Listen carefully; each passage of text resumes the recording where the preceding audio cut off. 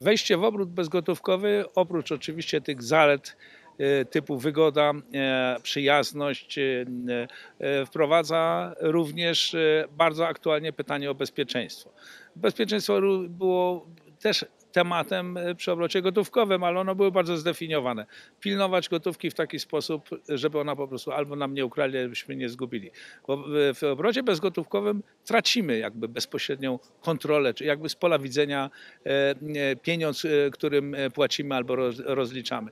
W związku z tym musimy mieć tutaj po prostu wiedzę, czy świadomość tych zagrożeń, to jest bardzo ważne.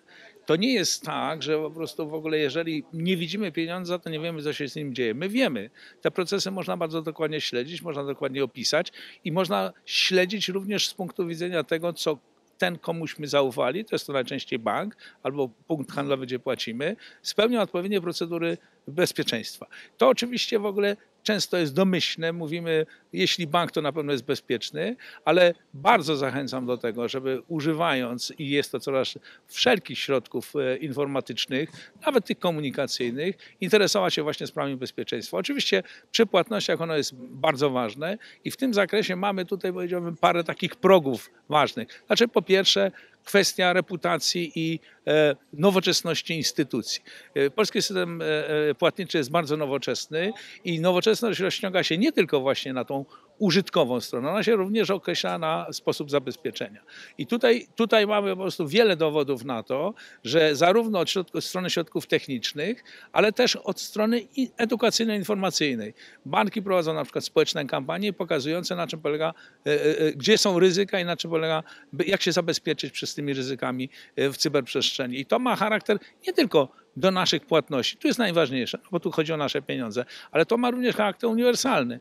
Nie, ma, nie miejmy pretensji do tego, że po prostu dostajemy mnóstwo spamu albo różnego rodzaju hakerskie miękkie, nie zawsze na tym tracimy, ale coś niechcianego w sytuacji, gdy nie przestrzegamy elementarnych zasad.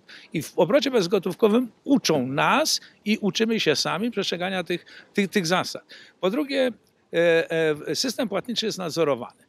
Czyli można powiedzieć, czego instytucje, którymi powierzamy nasze pieniądze bezgotówkowe, nie zrobią jakby z własnej inicjatywy albo niedostatecznie solidnie, tego pilnują po prostu organy nadzoru. Oczywiście tu w naszym przypadku głównie Komisja Nadzoru Finansowego. Są też bardzo ważne regulacje no, typu RODO. Wszyscyśmy się ostatnio z tym zetknęli i to jest to, że oddajemy w cyberprzestrzeni i przy inter, różnego rodzaju akcjach e, e, internetowych, oddajemy część prywatności, ale to nie jest tak, że po prostu w ogóle zupełnie nikt nas nie chroni i nie wiemy, co się z tym może stać. I dlatego też e, to jest taka bardzo ważna edukacyjna rola płatności bezgotówkowych. Oprócz wygody uczy po pierwsze jakby w ogóle kształtuje świadomość bezpieczeństwa, ale po drugie też uczy zachować się w tej cyberprzestrzeni.